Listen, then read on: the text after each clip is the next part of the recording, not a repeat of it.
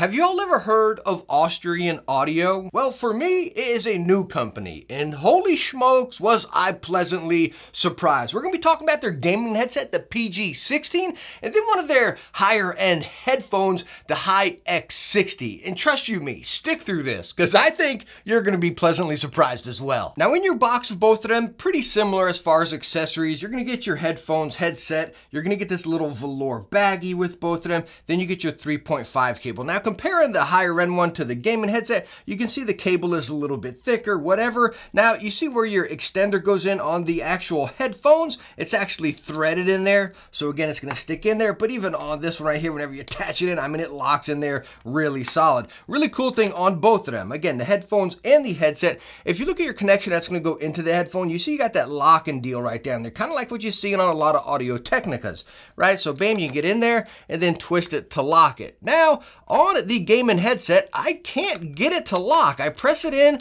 and it just doesn't twist to lock. On the headphones, it works perfectly fine. So I don't know if that's a flaw with my copy or not, but again, the cable still stays in there perfectly fine. But now, I want to talk about the comfort, of course, but also the build at the same time, all right? And number one, I just want you to look at these. You probably spotted already just looking them over.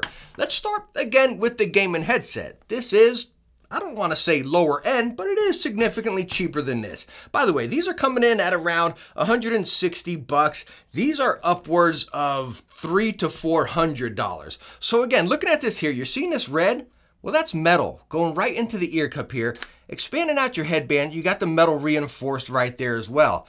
And these actually close up like that. So the cool thing about that, of course, travel, right? But also relieving some of those stress points whenever you're twisting them up. Because again, they're just going to fold instead of breaking. And as you're seeing, yes, you do have that swivel all the way flat there, a little bit forward, and like I showed you, your headphone adjustment or your headband adjustment right there. Now, looking at these ear cushions, super plush, super big. Let me reach over here, get my tape measure. As you can see, plenty of length, plenty of width, plenty of depth. Like your ears are not going to touch the drivers. If they do, there's a little bit of foam padding down there. Now again, pleather, outside, top, inside, you see you do have cloth. Now coming over to the headphones, they're fully pleather, but you do have those perforated holes in there.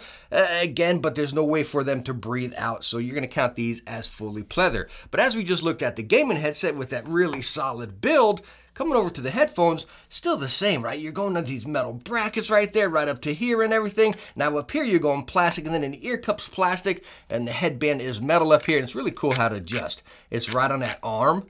Really, really just cool. I think they both look aesthetically look awesome as well. Now looking at the great build of both of them, how are they coming in at weight? Of course we have the wire off here, 270 grams. And by the way, your microphone is not detachable. It stays on the gaming headset one. Now let's look at these guys over here, which you can tell these ones feel a little bit heavier, 322 grams over here. But no joke, both of these headphones, headsets, whatever you want to class them as, when you put them on your head, they're almost like non-existent. Even talking about them having a great build and everything, they're just there. You, you, they don't bother you. I'm not getting any pinching, no aching, no uh, no pressure points or nothing. Not on the top of the head. Even if I take my hat off here, fresh shave by the way. You know, it's just incredibly comfortable. Even with glasses, it's just it sinks in perfect amount. It really just encloses your ear and everything. Even coming over to the higher end ones, which again, they uh, weigh a little bit more, just putting them on, it's like they feel great on the head, stinking cozy across the board,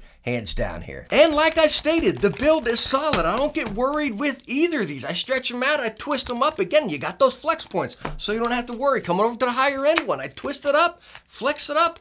I'm not worried one bit, guys. Across the board, build, comfort, style, total win here. So how about the microphone on the gaming headset model here? That's exactly what you're hearing. Obviously, we don't have a microphone on the actual headphone one. Now I'm plugged straight 3.5 and have my volume right at the media marker right there. No trickery, no tweaking, no nothing. If I pull the microphone in, this is what it's going to sound like right there. The windscreen's included, by the way. Now, if I pull the microphone out, this is what it's going to sound like. Maybe if I bring it down below my chin where it's completely out of my vision, this is what it will sound like.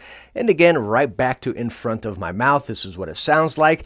Now, if the microphone, it has a flip up to mute right here. Pull it back down, we're active. Now the weird thing, let me see. Yes, okay, so we did mute. Now the weird thing, when I flip it up there to mute, you don't get a click, you don't get a tone, you get nothing. It is smooth activation from here all the way up to the top. So it's you have no notification like, okay, am I muted? You know what? Let's check this. I want to do something. So again, we're active. Active, active, active, active, active. Is the microphone still active? Active, active, active. So as you can see right there, like like you got to get all the way to the top and make sure it's back there so it is muted because there's no click, no tactile notification, no nothing. Smooth glides all the way to the mute. Anyways, this is the microphone. Now listen to that microphone playback right there. I honestly think it sounded pretty good. I don't even want to say there was too much bass or too many highs. It sounded really natural, like a phone call, but it did pick up some background noise. I have my AC running and the, the return vent or whatever is right there. So that's sucking the air so you get a little bit more tone in there. And I did hear that when listening to the microphone playback with these headphones. I don't know if you guys are going to catch it, but all in all, I, I think the microphone's definitely passable, just picking up a little bit of background noise. And by the way, when I was doing a microphone test, I actually got this cable to stick now. I just couldn't get it before got it in there and really gave it some serious muscle and it's actually locked in. So we fixed that problem. Now let's go and talk about the sound of both of these, okay? Both of them are using 44 millimeter drivers. Kind of weird. Usually see 40 or 50 or something like that, you know, but 44 right here. Both running off 25 ohms, so they're going to work across any device, packing plenty of punch there. Again, if you're going straight into a controller, into a phone, into a Mac or PC, something like that, they're going to work on anything. Now, as far as frequency range, let me double check this right here. These guys are running 5 to 28 and these are running 15 to 24. I had to look back at the box, couldn't memorize that, right? But anyways, talking about the frequency range, really not far off each other. Again, packing same drivers and everything, right? So talking about the core sound here, starting with the gaming headset, I had a really good time with this one. Across every game I was playing, right? Y'all know I play a lot of Halo and a lot of Destiny right now, Uncharted, Borderlands, you know? There was plenty of back and bass, plenty of highs. Uh, the mids were right here, just kind of helping them both out. Nothing muddy or nothing rumbled, anything like that. Wasn't punchy by any means. Uh, both of them definitely geared towards the highs. Clear as day geared towards the highs, okay? But the sound was just natural. It, was pure. It was balanced. It had that immersion as well. It wasn't super full VZR1 like we just recently talked about right here, right? Again, geared towards the highs, hands down. Very good for competitive games, right? Very good uh, playing Halo because it had that back end immersion right there, but it also had plenty of highs. It was a really nice combo over here. Again, it was really good for every game I was playing, video I was watching, music I was listening to. Now it's going to get a little different when we come over to the headphones here. Talking about it geared towards the highs, same as this, but I didn't have much of that back end bass right here. This was more or less that pure natural sound. Like if I was watching a video or listening to maybe like classical music, something like that, something that I don't really want that punch, you know, rock or, or hip hop, EDM.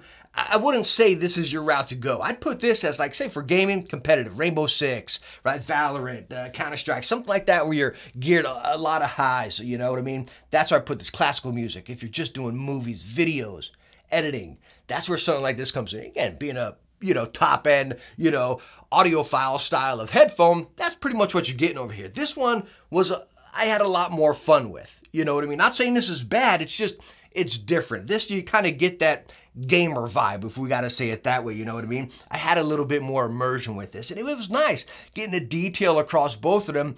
Two very similar sounding headphones, but again, that core difference truly separates them. Again, straight up highs, a little bit more immersion over here, but both of them were crystal clear, nice and detailed, just a little bit more immersion over here geared mainly towards detail over here. Very fun sounding headphones. So after looking them over, would I recommend them? Heck yeah, easily, right? What are you looking for? That's where you decipher that. Like even looking at the PG-16, they offer them in a Bluetooth version here. Now it's not the gaming headset, you know, so you don't got the mic, and of course you don't want to game with just Bluetooth. But if you're looking for, again, that pair of headphones just to use as Bluetooth, maybe mobile gaming, well, you got an option. And Austrian Audio has so many different headphones out there. It's really cool, you know. I'm, i hope this is just a start of their gaming headsets because I'd love to see something with this kind of higher end type build and stuff, even though both of them are built great. So take it easy when I say that. But I hope this is just the beginning for them right here.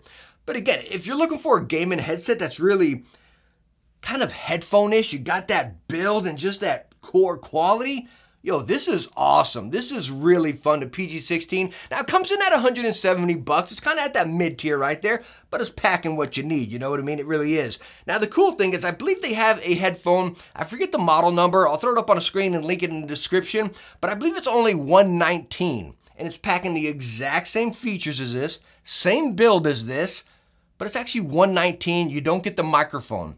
So maybe if you got like a standalone microphone, which is what I usually use, right? I got my microphone up here and control it that way, and I just use my headset for the sound.